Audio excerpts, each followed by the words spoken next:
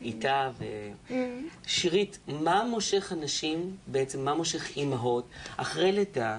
אה, המאמנת שלנו, למי שעוד לא ראה עד היום. דווקא בתקופה כזאת, שהם הם, אה, אה, נולד להם הילד סוף סוף, והם צריכות לגלות אותו, לגדל אותו, והן עייפות, והן צריכות יציבות ואת הבית. דווקא אז הן פותחות עסק עצמאי שהן צריכות להתמודד עם עוד יותר קשיים ובעיות. נכון. הן נתנו כבר את התשובה. תשוקה ומצוקה מתחברות ביחד. מצד אחד התשוקה לממש את האימהות. אה, שגם היא קצת בעייתית. אבל רוב האנשים דוחים את החלומות שלהם דווקא בתקופה הזאת. אומרים, נכון. אחרי שהילדים יגדלו ויהיה לי נכון, זמן. נכון, אבל דמיין שאתה יושב, או את יושבת בבית 8, 10, 15 שעות, ואת מאוד רוצה לממש את האימהות, אבל עוד חודש ועוד חודש ועוד חודש, זה מיתוס שצריך לנפץ אותו, זה קשה. נכון שזה קשה? זה שוחק. זה כמו המיתוס של לידת, עכשיו תסלחנה לי כל האימהות, שלידה זה הדבר הכי נפלא. התוצר זה הדבר הכי נפלא. לידה זה חתיכת קריאה תחת תרתי משמע. זה במקרה הטוב, לא תשלחו, לי.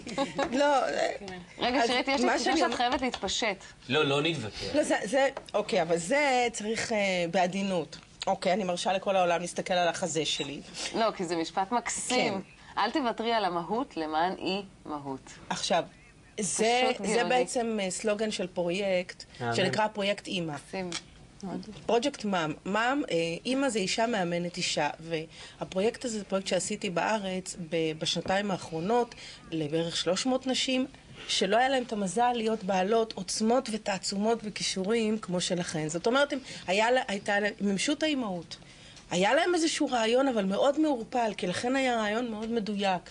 והם ישבו חמש שנים, שבע שנים, עשר לא שנים, מדויק, חמש עשרה שנים. בבית. כן. הנה, נכון. הנה, זה בדיוק מה שאת. שומעת, לא היה מענה. אני, לכן אני מתחברת, אני מתחברת לכל. למצוקה שאתם הצגתם. יש, חייבים לומר, יש את מתי, שתומך בעסקים.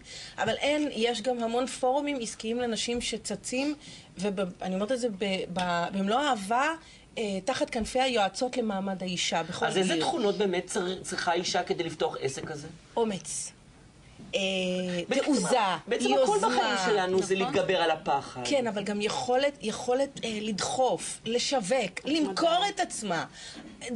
כאימא, את לא צריכה למכור את עצמך, את לא משווקת את עצמך, את לא עוסקת במסעי יחצנות. נכון, כי רעיון- לבד זה לא את מספיק. מכילה. ומה, דחף. בואי בוא נוותר על המקף של אימהות לאימהות, ואיפה המצפונים? מול הילד שלנו, את לא והמחשבות. מדברת על המצפון, את מדברת על איסורי המצפון. איסורי יש המצפון. כמובן. איסורי המצפון, מה זה איסורי המצפון? איסורי המצפון הם תולדה של חינוך. מהיום שנולדתי, תזכרו, בית פולני, אימא מורה, תפארת מדינת ישראל, מלח הארץ, אבל, חבל על הזמן, שלב שטונדה בין שתיים לארבע, אסור לאכול... אה, תראי איך את נראית בזכות זה. תראי איזה עור פנים יפה יש לך. מה את רוצה? אתה מכיר את מה אמא רע שלי? לא, זה יש לי אימא כי כזאת. כל פעם שאני אומרת, אמא תראי, אומרים לי שאני בת 51 ונראית מדהים, אז היא אומרת, אוקיי, תמכרי להם את הלוקשים, אבל בשורה התחתונה זה הגנטיקה שלי. זה אני, זה לא את.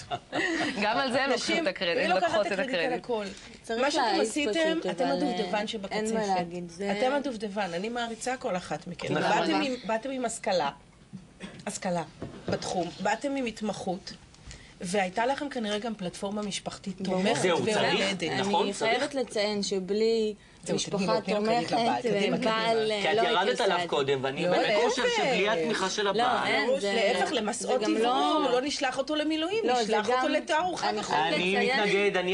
לא, חבר'ה, אני- הנציגות ה... לא, אני. חייבת. לציין שזה חשוב גם מההתחלה. זאת אומרת, גם כשהתחלתי את העסק, זה שנתיים שאין רווחים ואין כלום. וגם צריך את התמיכה, זה לא רק נכון, אחרי זה.